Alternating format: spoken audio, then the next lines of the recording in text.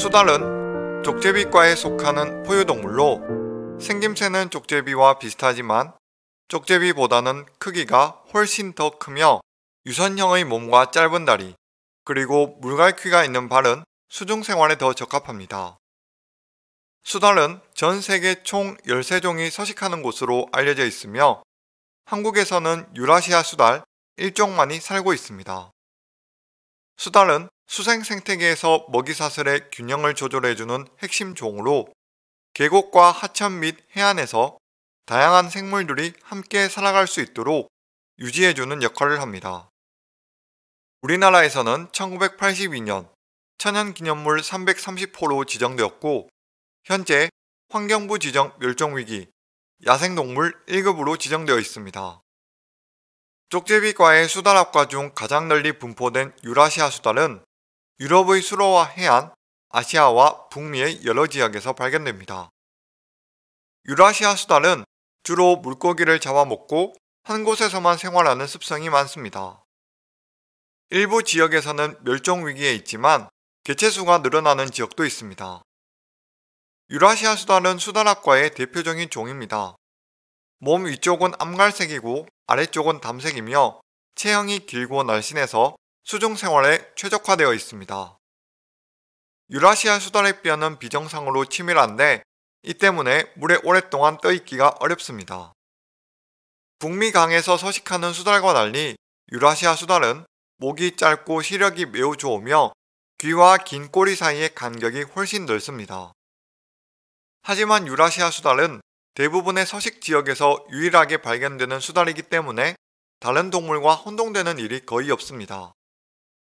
일반적으로 35에서 45cm의 꼬리를 제외한 몸통 길이는 57에서 95cm 정도이며 암컷이 수컷보다 몸통 길이가 짧습니다.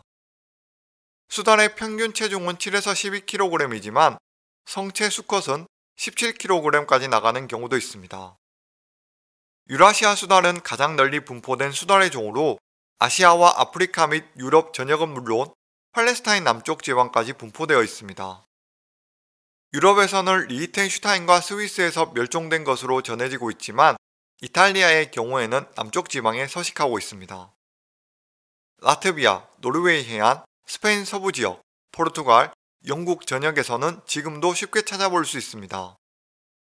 또한 아일랜드의 수달은 전국적으로 퍼져 있으며 유럽에서 가장 안정적인 개체군을 이루고 있습니다. 아시아에서는 인도의 경우 히말라야 저지대, 남부 웨스턴 가트 및 중부 지역에 분포하고 있습니다. 멸종된 일본 수달은 하위 종으로 간주되기도 하며 파키스탄, 인도, 방글라데시, 미얀마와 태국에서는 멸종 위기 종으로 등재되어 있습니다. 몽골에서는 멸종 위험이 아주 높은 종으로 관리되고 있으며 한국에서는 천연기념물로 지정 및 1급 멸종 위기 종으로 관리되고 있습니다.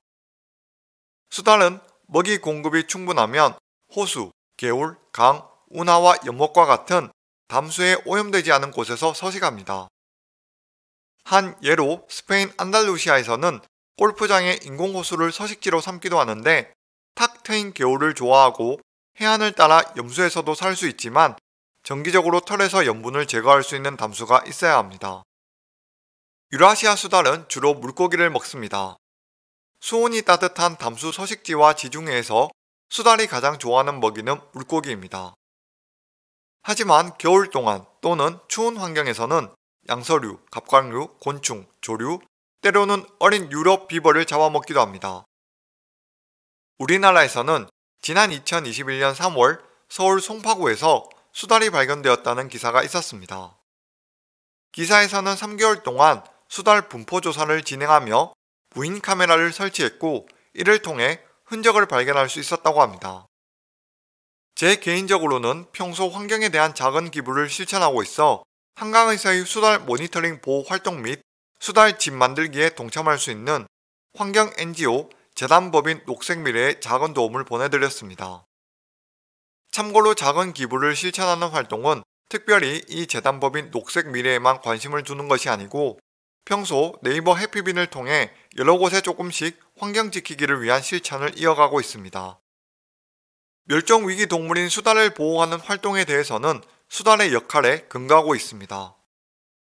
수달은 생태계를 어지럽히는 베스, 블루길, 황소개구리 같은 어종들을 포식해 물속 생태계의 질서를 지켜주고 있습니다. 수달은 한국에서뿐만 아니라 유기염소와 다이어마 바이페닐과 같은 살충제 오염으로 인해 20세기 후반부터 전 세계적으로 그 개체수가 줄었습니다. 또한 수달의 서식지 훼손과 사냥도 위험 요소로 손꼽히고 있습니다. 이로 인해 세계 자연보전연맹 멸종위기를 나타내는 적색 목록에서 유라시아 수달은 위기 근접종으로 지정되어 있습니다. 이렇게 멸종위기의 동물들이 사라지는 것을 막기 위해 사람들은 여러 가지 노력을 기울이고 있습니다. 1979년부터 유럽 전역에서 사용된 유해 살충제 사용 금지, 수질 개선에 의한 먹이 개체수 증가, EU 서식지 관련 지침에 의거한 직접적인 법적 보호 및 몇몇 유럽 국가들의 국내 입법 등 여러 가지 노력을 한 결과 영국을 중심으로 많은 유럽의 수달들은 서식지로 돌아오고 있는 양상을 보이고 있습니다. 오늘은 생태계의 질서를 유지시켜주는 동물, 핵심 종인 수달에 대해 정리해 보았습니다. 그럼 끝까지 시청해 주셔서 감사드리며 평안한 하루 보내세요.